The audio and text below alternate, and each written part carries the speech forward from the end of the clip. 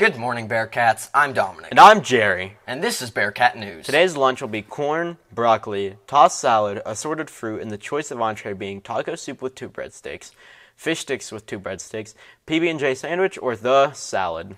This past Saturday, March 25th, was the 2023 VHS Spring Festival. The evening was filled with many beautiful young ladies and handsome young men. I apologize.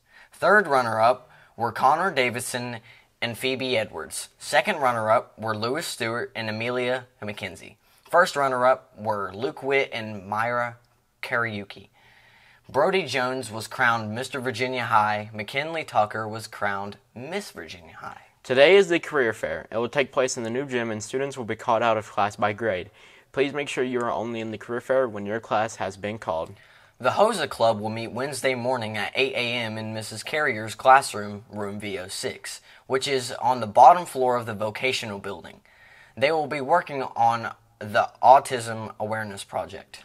All students were provided an email to suggest names for the new elementary school. Make sure you check your email and respond. There will be an FFA meeting tomorrow after school in Mrs. Clark's room. Attention juniors, if you plan to attend a four year college or university after you graduate high school, you should take the SAT. The SAT will be given on April 25th at Virginia High School during the school day. The cost is $60, $8 if you qual- qualify for a fee waiver based on income.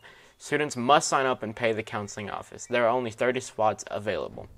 Yesterday's play was postponed due to audio issues. It has been rescheduled for tomorrow morning. Students, please be reminded to follow dress codes. Students that are sent to the main office due to a dress code violation will be expected to change into appropriate clothes before being allowed back to class. Stay classy, Bearcats.